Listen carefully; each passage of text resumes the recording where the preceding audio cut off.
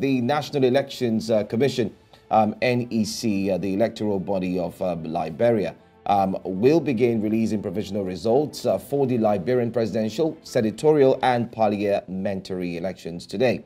Liberians voted yesterday in a general election in which President George Weah, uh, I, uh, the name still comes in my head like the footballer George Oppong Weah, George Weah is seeking a second term after six years.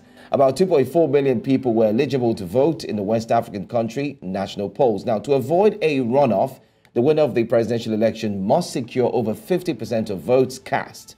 According to the NEC, uh, voting went well across the country, but might have to be extended in some parts of Sinoe and Rivercess counties that did not get their ballots on time. Now, no major incidents were reported, and the voting was calm and orderly at various voting centers visited by ECOWAS observers. Of course, the former president of Nigeria, uh, President um, Ebele Goodluck Jonathan uh, I just want to add all that name together, was also there present, ensuring that the monitoring uh, did take place well. So um, you can count on us here where Africa First We'll bring to you more stories and updates, especially when the results are starting to be released. So make sure that you stick around and stay with us, and we'll give you updates as we've rightly said.